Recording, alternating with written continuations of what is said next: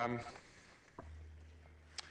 our food industry uh, is uh, a high growth area uh, of our economy, and the seafood processing sector is no exception. The sector has significant potential uh, to grow revenues and employment in the coming years. I have on previous occasions referred to my commitment to ensure the maximum number of jobs are created and maintained in the seafood sector, and that remains strong. Um, my Food Harvest 2020, an action plan for, uh, for jobs, recognise that uh, most of the potential for increased employment in the seafood industry is in the areas of processing and aquaculture.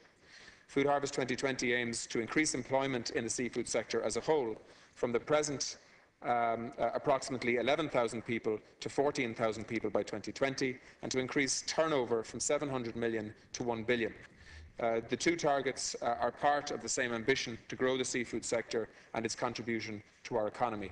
And it was, it was the previous government that put these targets in place, uh, and we are happy to try and implement them and see them through. I think it's important to, to, uh, to note that. Despite the uh, uh, severe effects across the economy of the current economic downturn, the processing sector uh, has fared very well in terms of maintaining employment. Indeed, many progressive businesses in the processing sector have, have bucked the general trend in the economy and have um, uh, been on a sustained growth and expansion path. Uh, CSO figures show that seafood exports were valued at 495 million in 2011, which is an 18% increase, sorry, in 2012, which is an 18% increase over 2011. Um, just to get on to, uh, um, I am advised by, by BIM uh, that some 2,870 people are presently uh, employed in the seafood processing sector, uh, arising specifically from an investment of 12.8 million by 18 seafood processing companies in 2012, with 2.6 million in financial assistance under the Seafood Processing Business Investment Scheme. Uh, 296 additional jobs uh, and increased sales of uh, value-added seafood products uh, of nearly uh, uh, 105 million are expected to be created by 2015. Um, that is a significant level of investment by any standards, and together with the previous investment of 7 million by 21 companies in 2011 and 2.7 million by 8 companies in 2010, with the support of the Seafood Processing Business Investment Scheme. Um, uh, uh, this is setting a clear uh, path uh, for growth and expansion. Thank you, Minister. I, I, I, I have recognised the success of the scheme by increasing its capital budget from 1.5 million in previous years to 2.5 million in, in 2013. You, a, I know that uh, the Deputy has a specific question in terms of how we're going to prioritise those allocations, and I'll come back to that. Yeah, Deputy Pringle. Thank you, Laskir, and thank you, Minister. Minister, I asked this question because the, as you, will remember, in June 2011, you launched a high-level group report for in Killybegs, which outlined how 20, 250 jobs were going to be created over the following couple of years in the area uh, on the seafood processing. But it's extremely difficult to actually uh, find out and verify whether those jobs are being created and where they're, they're actually being created as well. And it seems that from the grant announcements that are made that the grant announcements are linked to creating a number of jobs, but those jobs are only aspirational and they're not really it's not really a factor in deciding on the grant. In fact, it appears that it's more likely just a nice add-on to the announcement to say that this such X announcement will create eight jobs and another one will create ten, when really and truly that's not the, fun, the purpose of the grant aid. And it leads to a lot of confusion amongst the public. And there's a huge difficulty, um, particularly in Killybegs and Donegal at the moment, where workers are being paid off in factories and people can't actually see where these jobs are being created and, and how they are being done. So I think there's an issue there around the transparency that needs to be addressed. Come on, Tara.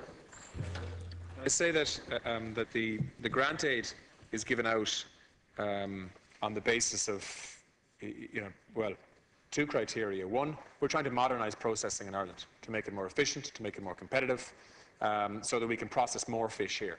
We can land more uh, fish caught by Irish trawlers and also more fish caught by foreign trawlers. Um, both of that is happening, and that's evidenced by the, the export figures increasing. Um, but we are also looking to invest in, in facilitating the sector, um, uh, adding more value to product. Uh, and that is why this year uh, I propose to increase the maximum grant rate available under the Seafood Processing Business um, Investment Scheme in 2013 from the previous 25% of money spent up to 30%. Um, at the same time, I propose to reduce the grant um, available to investments in primary processing facilities, previously from a 25% down to 20%. So what we're trying to do here is we're trying to prioritise money into the added value sector, because that is actually where the jobs are, um, um, so that we can actually not only process more uh, seafood product in Ireland, but we can also add more value to it, which is what we're trying to do in beef, which is what we're trying to do in dairy, uh, um, you know, and in all of the other food sectors. Thank you, Mr. Uh, and um, you know, I, I hope you'll welcome that. I think it is difficult to put an exact um, scheme together uh, based on the amount of jobs that will be created. Our figures in terms of growth in Killybegs and elsewhere, from an employment point of view, are based on um, the, the projections of the increased number of jobs attached to the investments concerned. Uh, and that's the only way you can, um, uh, you can take it moving forward. Deputy, briefly, uh, Deputy Pringle. Thank you. Yes, uh, just like to say that I would welcome the fact that the grant aid has increased for the added, for the added value aspect of the investment because I think that that is important, all, all right, and I would welcome that, Minister, because the dilemma that we have seen in the fish processing sector, particularly in Donegal, is that the more investment you've had, uh, actually you have less jobs, and I know the arguments around that that makes what jobs are left there more sustainable, but it's very difficult for people who are losing their jobs and then finding themselves out of work uh, because of modernisation taking place within the processes to actually see where the growth in jobs is supposed, is supposed to come from. And I think that is a, a problem with the, the grant aid process where jobs are linked to announcements when actually the purpose of the announcement isn't to create those jobs, it's to modernise and uh, modernise uh, plant and equipment. And I think that's where the confusion arises at some points with um, the public and people who are working in the factories themselves.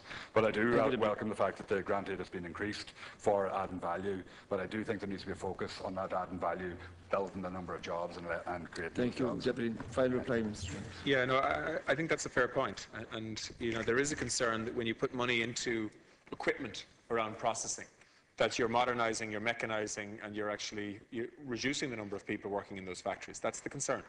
Uh, but, but what we're trying to do is we're trying to ensure that we are competitive as a place to land fish and process fish and, and add value to fish.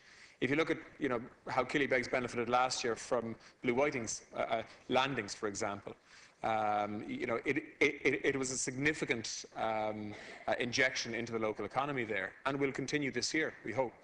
Um, but we also need to find a, a way of ensuring that instead of fish being, being, being caught and landed into Ireland and simply being shipped out of Ireland by truck or by ship, um, um, uh, uh, either frozen or chilled, um, um, and being graded and processed outside of Ireland, that actually we do, do that work here. We have the infrastructure to do it here, we have the expertise to do it here, and we need to actually continue to invest in that infrastructure to ensure that, um, uh, that, that we add value here and then we export a higher value product.